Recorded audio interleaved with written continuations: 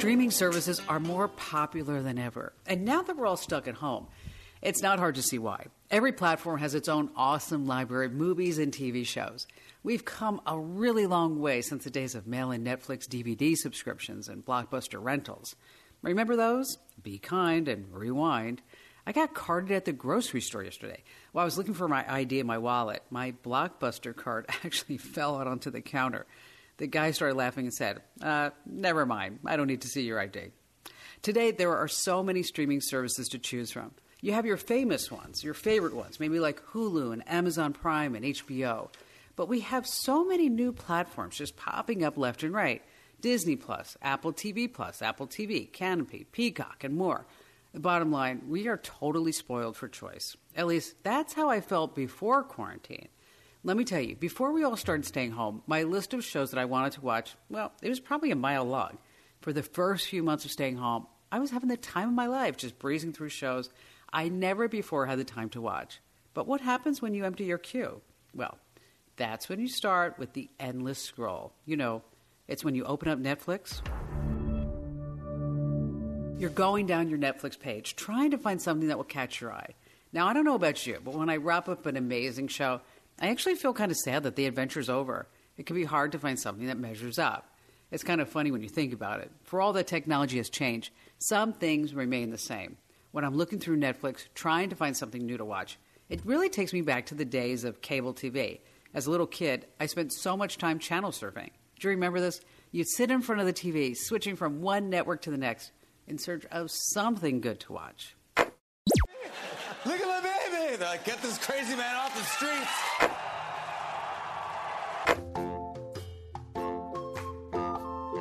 Notice, but lately I've been drifting aimlessly. TV time with my family used to be us all sitting on the floor or the couch or whatever. Because I was the youngest, I got the opportunity to be the remote control. Yes, mom or dad would say, Hey, Kim, put on channel two. So up I would get, change the channel, and just as I sat back down, someone else wanted the volume higher or lower. Yes, those were really fun times. Today we have all kinds of remotes and a new kind of remote to find something you might want to watch. You know how on Netflix and other platforms you get suggested shows? There's a little box that'll say, if you like this show, here's another one you might like. Sometimes the suggestions are right on the mark, but other times, not so much. Today I'm going to introduce you to a great resource. It's called Reelgood, as in R E E L Good. It's like Google for what's streaming. It has every TV show and movie available online. That's right, every single one. It is truly one of the most powerful search engines you could possibly find for streaming services. Basically, it combines all the platforms you subscribe to. Think Amazon, Hulu, Netflix, Disney Plus, Apple Plus, Apple TV, HBO Max, Peacock, and more, and lets you watch them all in one place. Yes, it's convenient, but the best thing is it collects data on the shows you watch across all the platforms. So it can pinpoint exactly what you like about each show and then give you personally curated suggestions. So say goodbye to the endless scroll. You'll never again have to worry about what to watch next. In this podcast, we're going to go over the top five shows you've probably watched. We're going to sit down with Reelgood's creative strategist, Nick Floyd. Together, he and I are going to break down exactly what you should watch next. We're also going to tell you about the surprising way that COVID's impacted the television industry. You're going to learn so much in this episode, a lot of fun things too. What shows are people watching? What are the top most watched shows of all time? And how life is going to change once we don't have to stay home all the time. This is a great episode. We have a lot of terrific stuff coming your way. So stay right where you are because the show is about to start.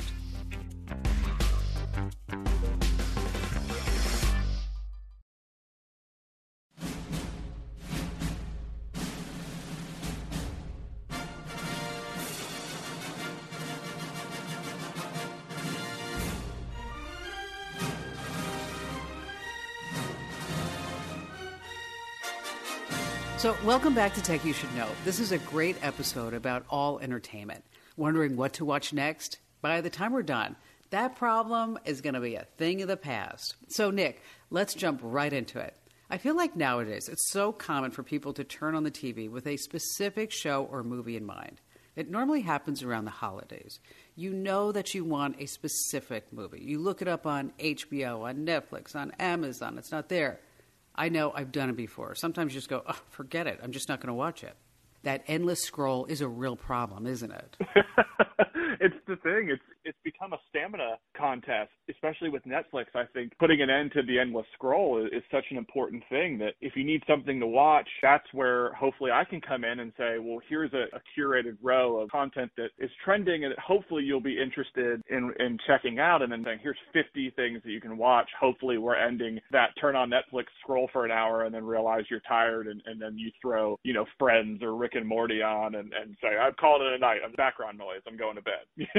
Absolutely. And I bet people are dealing with this more now than ever. After all, we have been seeing this explosive growth in streaming times now that everyone's, well, spending so much time inside. You know, with people ingesting more content than ever before with, with the way that 2020 has gone and, and not being able to go to the movies, that was everyone's escape. They're trying to figure out if I'm in the mood to watch Jurassic Park, where can I find, where is it streaming? I need to know right now where, where is it streaming because if it's not on Netflix, are people making the extra step to search Hulu and Prime and Peacock and all, you know, our HBO Max, all these different services. So, you know, we're able to, to offer them a guide to say, hey, just type in what you want to watch and, and we'll show you exactly where it's streaming and, and if it's not streaming, where the cheapest place is to rent or buy it. Let me get your opinion on this. According to Fox Business, the average American spends around eight hours a day streaming shows. Wow. When I saw that number, I was shocked. What do you think? Eight hours is it's one of those things where you look at it and you say, well, does this make sense? And logically, I think that with people being home, I think they are, you know, they might have something playing uh, in the background while they're while they're working from home and in between calls and in between meetings and, and all of that. And then at nighttime, I think it's, you know, instead of going out or, or going to a restaurant, you're cooking at home. It's taking you half an hour, 40 minutes. Then you have two extra hours to watch TV. And I mean, that number is realistic, honestly. Yeah, that makes sense. It's not like you're going to sit down for eight hours straight. Could you imagine how much your back would hurt from sitting that long? Oh my gosh. But you know, this new normal we find ourselves is kind of fascinating. It's changing so much, including how we are viewing our television and our streaming services and our movies and TV shows. Give me your opinion on that, Nick. How has COVID impacted streaming? You know, that it's so interesting. I think, I mean, I think there was a, a situation created with being in quarantine where I kind of got to see what people want to watch. I think when everyone was out and, and, and busy and going to concerts and movies and all these different things and places, it was really hard to kind of gauge like what do people want to see? Do, do, do we need more TV? Do we need more movies? And what types of genres do we want to present to these people? And I think that, that we've seen a lot of really interesting trends. I think people are revisiting things that they didn't watch before. Well, that makes sense. Reelgood can give better recommendation because it has a heck of a lot more data. I mean, you can see exactly what people are looking up. You're learning more about which types of content people want to watch. Now, tell me about some of the trends you're seeing. You know, Netflix has, has really been sort of the, the home base. It's been the universal language of streaming, right? So it, it's talking to, to folks and you can I can recommend any stranger and say, Hey, this show on Netflix or hey, this movie's on Netflix. Even if you're a stranger, I assume you have Netflix, but I think we're seeing more people explore different avenues of streaming than ever. So it sounds like people are becoming more open to trying new things, right? people are, are open to trying more things. It's becoming more common and easy to recommend things because, like, Shudder is a great example. Yeah, that's a good one. For anyone who hasn't heard of it, Shudder is a service devoted to scary movies. I bet a ton of people will be using it on Halloween and I know Halloween's coming up, but that is one where I found myself personally recommending some stuff to friends that are on Shudder and and them having Shudder. So I think there's more spread from Netflix. We're seeing these other services grow and become more of a household name, a universal service that kind of everyone has. So it appears as if we're seeing a decrease in brand loyalty to Netflix. People are broadening their horizons, trying new things, right? I think so. I think I think it's I think the power of streaming right now is just such a, a such a beautiful thing, and I think there's so many unique stories that are being told on each platform, and and people really really want that. And and the beauty of it is that you can deliver content. I mean, you can surprise people with movies. It completely come out of nowhere and you can drop them on your service and and we're seeing more and more of that not just on Netflix but across the board. That makes sense. I've tried to watch so many new shows, but a lot of them I just can't get into. So, Nick, from what you're saying, it sounds like streaming services are seeing a huge boost in their numbers, which would absolutely make sense because we are in the middle of this pandemic. So, is it a great time for streaming services? Absolutely, especially just with the current state of, of movie theaters. That streaming services are the next line of defense besides premium video on demand, where these movies can can they have a home and they have an audience, and you know studios can still see a return on those on those films. So you know it's great it's great that the the market is is, becoming i think more saturated with stuff and more people using services that they're opening themselves up to just a plethora of TV and movies and stuff maybe they haven't seen before or maybe wouldn't have watched a year ago, but now are wide open to it. And that's a really good point because this year everyone's trying new things. Anything to distract yourself from being bored. I have a Peloton bike, and I am on that bike, honest to gosh, at least 27, 28 days a month because I just need to have 30 minutes to myself where nobody bothers me. Sometimes it's even an hour, maybe even a longer ride that I go on. And I want to talk about some of the new shows, Nick, because not everybody can sit on a Peloton bike for an hour. It seems like we've got some new content coming out left and right. For example, Lovecraft Country and Raised by Wolves. Man, that show has such an intense trailer. Go now. Start over. Initiating trimester one. These children are the future of humanity.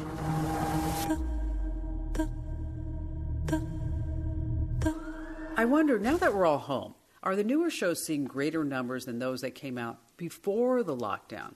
I guess you could say we're a captive audience. Since people are less likely to have to go out, they're probably at home when the nights shows are premiering.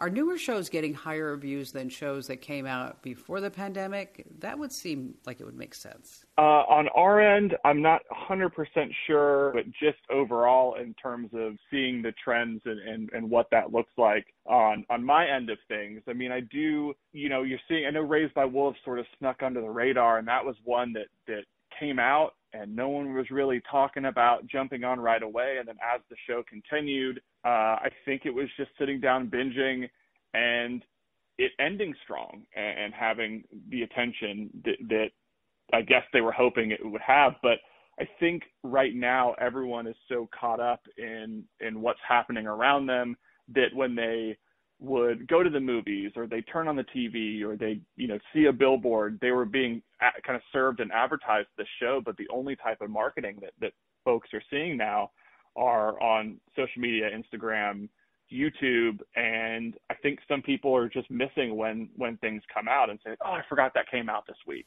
Yeah, you're right. You'll see them sort of play catch up. And Lovecraft Country, I mean, there was a dip a few episodes into the series, and then it sort of picked up steam in the last kind of half of the season. I mean, that show was very, very well regarded and, and talked about, and ended on a note that had a lot of people kind of excited and, and happy that they tuned in. Yeah, the best way to end a season is to leave your viewers just wanting more you gotta give them a hint of the awesome things to come. Speaking of which, later this episode, I'm going to get Nick's expert opinion on how to recommend shows. We're gonna break down five of the biggest shows right now, and we're gonna tell you what people are searching the most for. And by the time we're done, you're gonna learn exactly what you should watch next, and you'll be so happy.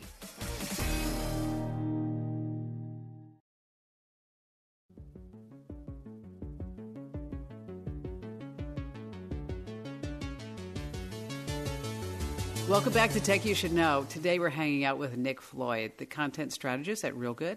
He spends his days recommending shows to people. And I got to say, Nick, it sounds like a great gig to talk about when you go to parties or you meet new people. One of the first questions you ask is, So, what do you do for a living? A lot of times you get like the normal answers like, uh, financial analyst, I'm in sales, and so on.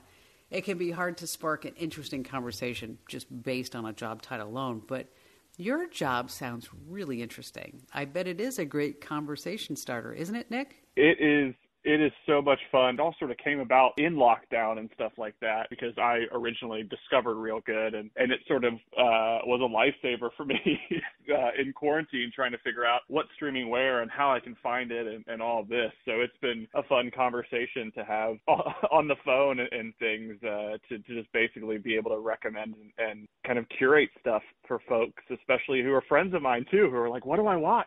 What do I what do I do?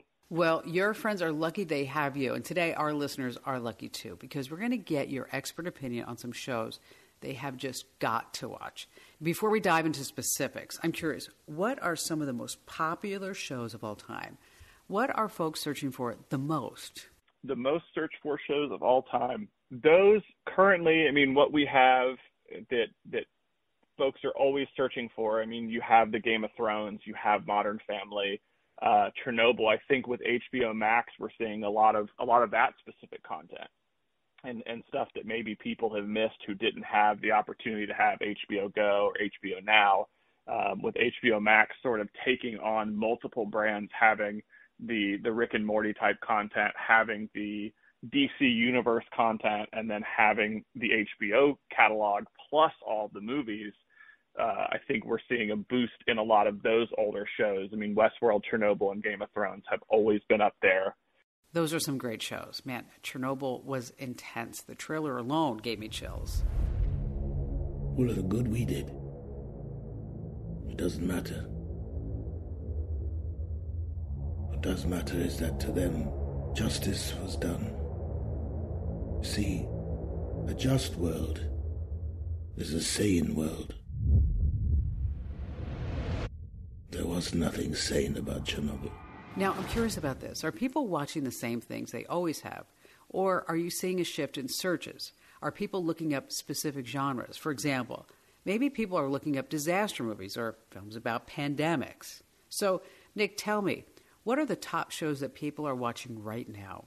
Yeah, absolutely. I mean, we've really seen specific things. I mean, a lot of uh, a lot of people have been watching The Boys on Prime Video, which has been which has been a huge um, a huge hit, as well as the Umbrella Academy on Netflix, which is you know that has seen a lot of uh, attention, a lot of numbers. The Walking Dead's numbers have been back up with the show kind of being in this hiatus, waiting for the final episode to air a couple weeks ago. Um, and you know Netflix has had some home runs with the old guard. That one was huge. Enola Holmes has done incredibly well. Okay, so those are some of the biggest shows. What about movies? a lot of these movies with powerhouse performers, Devil All the Time wasn't the biggest movie, but it was one that everyone was watching because you have Tom Holland and Robert Pattinson and these big names that people miss seeing on the big screen. You know, you have Spider Man and the new Batman who are in this movie together on Netflix. People are drawn to those same old familiar faces, huh? People are taking more chances on the, the, this content, and those are some of the biggest things that we've seen over the past couple months. So, Nick, I'm curious what are people looking up more, new shows or old shows? I'm wondering if people are returning to old favorites like Office or Friends. I'm wondering if that old familiar comfort plays a role in that. Shed some light on that. Absolutely. I do think I mean we're seeing two two things. I think we are seeing folks who are who are returning who or or, or catching up on the Parks and Rec, uh, the Rick and Morty, especially with Peacock, uh, you know, with The Office. But we're also seeing things like when Bill and Ted Face the Music came out, people were you know seeking out Bill and Ted's Excellent Adventure uh, and, and trying to watch the original movie because this was on their plate. It was right in front of them, and they could say, "Oh, here's a new movie, but I haven't seen the other two. and so they're digging for those. So, in all your research and data tracking, have you found anything that surprises you? There have been a few surprises, a few movies that have just kind of popped up that, that show up in our uh, in our charts that are so interesting and, and always have me scratching my head like, how did that get? You know, how did that wind up on the chart? That's so interesting. Oh, really? Tell me more. Any shows or movies in particular? A couple weeks ago in September, I mean, we saw Eternal Sunshine of the Spotless Mind break the top 20. And when you see movies like that, where there's really no specific trend, there's no there's nothing really trending on social media. There's nothing. It's just a movie that sort of tops that chart. I mean, you think of all the content that's that's available, and you see a movie like, you know, Eternal Sunshine of the Spotless Mind, or you see a movie uh, like the Peanut Butter Falcon, which was recently on Prime Video, but uh, and one of my favorite movies from last year, that movie sort of break the top 20 is so fascinating because there there is we're seeing that discovery is happening and that people maybe are realizing like oh I missed something. I'm going to go back and watch it. And it's happening not just with a small bundle of people but enough people to reflect the the numbers that we're seeing overall in our top 10s and, and top 20s. Wow, I wonder what was the draw of those movies. I mean, they're so different. I mean, Eternal Sunshine is artistic and ethereal. It's like watching a dream on screen. There's an emotional core to each of our memories, and when you eradicate that core, it starts its degradation process. By the time you wake up in the morning, all the memories were targeted with wither and disappear. Peanut Butter Falcon isn't anything like Eternal Sunshine. It's much more lighthearted and sweet. Yeah, in a, a fantastic feel-good movie that I feel everyone should be watching right now. Um, but yeah, seeing it climb the charts, it's great, especially for this tiny little movie that that really deserved the, some attention last year. You know what? Maybe that's the reasons why so many people are streaming it. Nowadays, we all need a feel good movie because, gosh, when you turn on the news, you look on the web or social media, everything's just like frown town. yes, indeed. okay, now I want to move this episode along. I want to get into the fun part show recommendations. I can't wait to dive into some of the shows our listeners need to watch right now. And here we're going to talk about five great popular shows you've probably watched. We're going to go through them one by one, and Nick's going to tell you hey, if you watch this, here's what you've got to see next. But before we do all that, Nick, what are your personal top five shows? Oh, my personal top five shows. That's a scary thing. My my go to my my my go to always uh, one of my favorite shows of all time. That's that's very underrated, but I have hope that it is going to pick up steam. It's a, a little show called Mr. Robot. Um, very very uh, heavy in tech, very timely to what's happening in the world right now. But it's it's officially all on Amazon Prime now, so that's the the the the nerd inside of me is so excited that I think people are going to find it and they're going to lose their mind over how wild this show is. So that's always been number one for me. Um, I Ted Lasso is another one that I've fallen in love with. It's super recent, but I adore it. Uh, Ozark is uh, another fantastic one. Uh, I've always been a fan of the show Entourage on HBO. I know that's a, a little dated, but it's always been a fun one and, and easy to turn on. And then Rick and Morty, I'm I can't lie, I love it so much. Those are some great ones. It's always fun to ask people about their favorite shows. I mean, let me tell you about mine. I love The Handmaid's Tale. I love The Crown. My husband's watching America right now. I just really couldn't get into that. And I'm really big on documentaries. If it's a true story, you can just count me in. But I can't tell you how much I've been looking forward to this chat with you because coming up, I'm going to throw some of the biggest shows of all time at Nick. These are titles I'm sure you've watched before. I mean, I'm sure a lot of our listeners are Breaking Bad fans.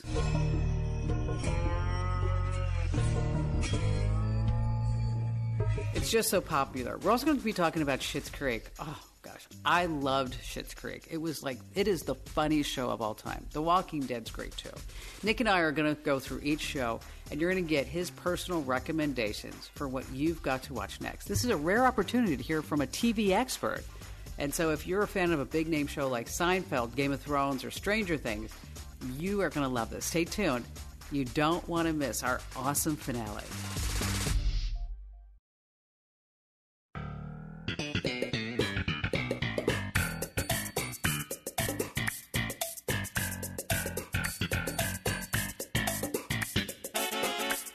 Welcome back, folks. We're now at a part I've been really looking forward to. I can't wait to share it with you. I just love talking about amazing TV. And Nick, you're the perfect person to chat with.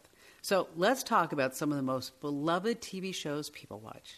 Let's start with Seinfeld, since hearing the theme song always gets me in a great mood.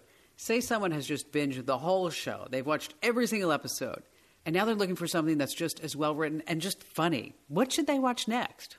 I mean, my immediate go-to is comedians in cars getting coffee on Netflix. Jerry Seinfeld just driving around interviewing some incredible talent. That's always my go-to.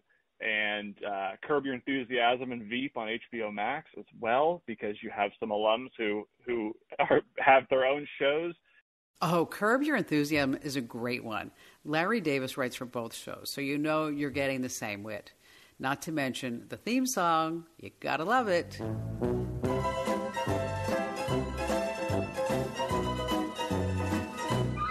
What if someone's already watched it? What else could Seinfeld fans check out? Schitt's Creek, I think, is also a, a fantastic kind of play on on the Seinfeld sit, sitcom sort of show. So that's the immediate go-to that that doesn't feature alums from Seinfeld. It's just sort of its own show that that I think will will please Seinfeld fans. That's a good one. Schitt's Creek just won the 2020 Emmy Award for Outstanding Comedy Series. If you want to laugh, watch Schitt's Creek, and that's S C H I T T S Creek. Tell me more, Nick. What makes such a good show? There's just something about. I think a lot of shows do have a heartwarming sentiment. I think those those comedy shows. I mean, we've been seeing it since shows that, that date back. I mean, to Cheers. There's always that that heartwarming feeling you get when you watch these shows. But with Schitt's Creek, the the balance of family and and just the heartwarming nature of it all, and just how funny it is really uh, is just appealing to so many, especially in, in the time that we're currently in, where you just you just want to feel good watching something and you want to have some laughs and and uh, follow some quirky characters along the way. Oh yeah, it's got a lot of funny scenes. I need that bed Why? because I need it. Why? Because if someone were to break in here in the middle of the night wanting to murder us, they would attack this bed first. So I need this bed. So you're saying that you want me to get murdered first? In front of you? And then what would you do? Would you just run away and leave me to bleed out on the floor? Uh, sort of. That was the plan. Yeah. So let's say someone follows your advice, Nick. They watch Seinfeld, they wrap up Schitt's Creek. What should they watch next? Oh, that's tricky. I mean, I would I would easily uh, kind of the the next thing, especially if you went from Seinfeld and, and if you did love Schitt's Creek, the, the the first immediate pivot would be uh, Ted Lasso on Apple TV Plus. That is, I have not. It just gives you the warm and fuzzies, and Apple TV Plus is a service that I know a lot of people aren't uh, signed up to. I think that it is a service that's growing, but this is a show that is 100% worth the subscription, especially if you followed in the the the path of Seinfeld to Schitt's Creek, and you need something. What is that something? That something is Ted Lasso on Apple TV Plus. If you haven't heard of Ted Lasso, it's a show all about soccer, or since it takes place in the UK, they call it football. They're gonna murder you. This is a bit of news from the other side of the Atlantic. AFC Richmond announced the hiring of their new manager, American football coach Ted Lasso. You're an American who's now in charge of a football club despite possessing very little knowledge of the game. Oh! You mentioned those warm and fuzzy feelings. Let's pivot to something that's, well, kind of opposite Game of Thrones. You can't exactly say Game of Thrones and get all those warm and fuzzies, right? Oh yes. Let's say someone just finished season eight. What direction should they head to next? I mean, you're looking if, if you're looking on Netflix, you have The Last Kingdom, uh, which is a, a fantastic fantasy show. It's a little bit more grounded in reality, but it has a lot of the politics, a lot of the drama, and uh, it's beautifully shot.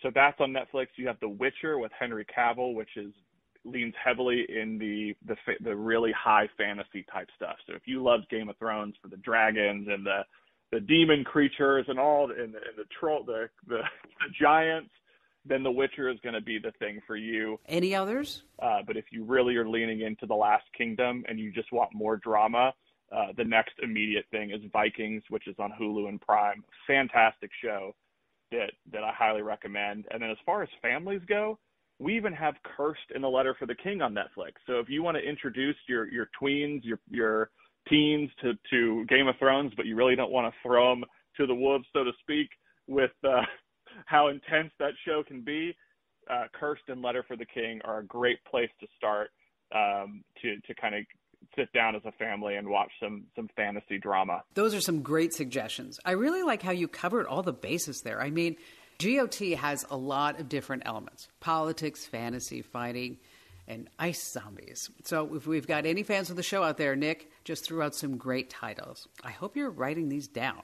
Speaking of intense shows, let's get to Breaking Bad. Oh my gosh, that show was wild. So if someone's just wrapped up Breaking Bad, what's the next show they should watch? The immediate thing, I mean, being such a fan of Breaking Bad, immediately, if you're not watching Better Call Saul, uh, I know a lot of people were in the first season. It was amazing in the first season. It's, it's just as amazing, if not better, now. And they're bringing characters in from the Breaking Bad world, and it's just such a blast from the past. I, I recommend that immediately. If you don't really want something in the Breaking Bad universe, highly recommend Ozark on Netflix, Narcos on Netflix, and Fargo on Hulu, which is kind of a left field, but has a lot of similar vibes and tones. And, and I think that, that it's worth checking out. I really like crime shows. We've talked about some great shows. Everything we've mentioned so far is pretty unique. So let's pivot to The Walking Dead. This show has some diverse elements. You have drama, the disaster, and survival elements. And of course, there's the science fiction and the horror. I mean, what's scarier than zombies? Let's say someone just wrapped up the show. They're desperate for something similar. They do the endless scroll down Netflix. What show would you suggest to break them out of that fog? What should they put on next that they're going to really like? Yeah, you know, The Walking Dead is such a it's such an interesting thing because like Breaking Bad, we kind of live in this world where when a show ends, we'll sort of see it continue some somehow. I mean, Breaking Bad, we had Better Call Saul and we had El Camino, the movie about Jesse. So with Walking Dead, you kind of have all this content with Fear the Walking Dead and now with The Walking Dead Worlds Beyond, which is their new show. Yeah, there's a lot of great content in that universe. If you need even more outside of that, there's a fantastic show about a zombie apocalypse called Kingdom on Netflix, which is a really fun and fascinating take on the zombie genre. And Kingdom has a drastically different setting. It takes place in what looks like medieval Korea, so you're getting a fresh take on a classic genre and then Black Summer, which is also on Netflix, and it kind of it came, people loved it, and it's getting a season two. But I think more people can still catch on and, and check it out. It's to, it's totally worth it. But if you if you love the the Walking Dead world, that universe, that sort of gritty drama that has the horror elements, uh, Kingdom and Black Summer definitely definitely worth checking out. I hope everybody's writing these recommendations down. A new zombie show might be the perfect thing for you. And now, last but not least, Stranger Things. This show is super unique. What should people watch if they want more just like Stranger Things? There's really nothing like it. The next best thing is here's a bunch of movies to watch. So Stranger Things, because it's so influenced by stuff from our past, immediately the first couple things that I would recommend television wise, if, you, if you're ready for the next binge, Dark on Netflix is another fantastic show that's very much in the vein of Stranger Things, uh, as well as The Umbrella Academy. It, it has the fun, it has some nostalgic little throwbacks and, and just this kind of unique nature to it. But outside of those two shows, you start getting into movies where I say, if you love Stranger Things, go back and watch The Monster Squad or watch Rim of the World, which is a, a little movie on Netflix about kids during an alien invasion. And I think I think that's one where you can suggest a lot of different movies to watch that really scratch that Stranger Things itch. I have to say, Nick, I'm super excited that I have all these recommendations from you, and I'm hoping this episode has been helpful to all of you too we tried to put together a diverse list of shows that you guys have probably watched. One of the best things about Netflix and all the other platforms is just the wide varieties of shows that you can watch. Shows that pop up on streaming services are much easier to get made. They're so different from cable shows. I mean, they're two different beasts. You know, Nick, I would go as far to say that we're in the golden age of streaming television. Would you agree? Absolutely. Hundred percent. I mean, I, I truly, truly believe if if you would have told me 10 years ago that a show like The Boys or Stranger Things were going to be extremely popular and and play such a huge role in in the TV industry, I wouldn't believe you. As a kid, we didn't really watch a lot of television. So, growing up, I really didn't watch a lot of television either. So, as we get into the pandemic, that's when I'm like, okay, I guess I have to watch television. And it's just amazing when you look at the types of shows that you can watch now compared to the stuff that, well, we had to settle for like back in the day. They're just so. I mean, Lovecraft Country too. Even HBO's always done stuff that that's always been, and they they've really kind of pioneered this this left of center doing telling these unique stories. But we kind of live in a world where we're surrounded by the haunting of Bly Manor, the boys, um, uh, Stranger Things, Ozark. We're getting all these unique, fascinating pieces of content, and it's kind of opening our eyes to to what's really there, and and is opening us up to I think so much more and and as an audience like recommending things to folks feels easier than ever because I think we as an audience are so open. We're open to to so much more now, which is amazing. Absolutely. I don't know about you guys, but I'm feeling pumped. It's been so great to sit down and chat with you all about the amazing TV shows out there. And even if you don't have Reelgood, you can go to their website and find tons of articles. Nick, you have a lot of lists for folks must watch crime shows, thrillers, comedies. It seems like you've covered nearly everything. And thank you so much for coming on today. Thank you so much for, for listening to me babble. I appreciate it. Trust me, when we're chatting about shows, it's not babble at all. I know I'm going to plop a few shows into my Netflix queue.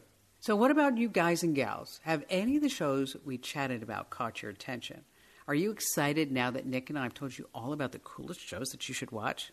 Hopefully, this will help break you out of this post series slump. We've all been there, aimlessly scrolling, but now that's a thing of the past. If you want to learn even more about new shows and streaming, check out my website, komando.com. We have so many great articles that can answer your tech questions and also help you with your streaming questions.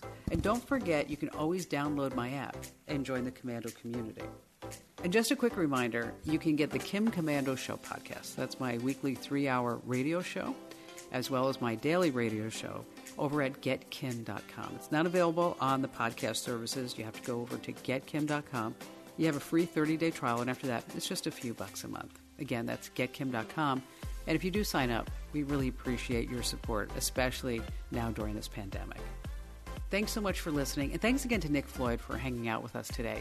And a special thanks to our producers, Mike James and Cassidy Taylor. You guys and gals do some real magic.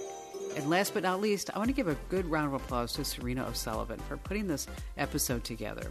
I'm America's digital pro, Kim Komando. Thank you so much for joining us. And if you're listening to this before Halloween, happy Halloween!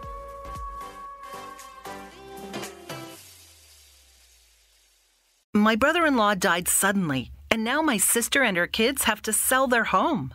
That's why I told my husband we could not put off getting life insurance any longer an agent offered us a 10 year, $500,000 policy for nearly $50 a month. Then we called SelectQuote.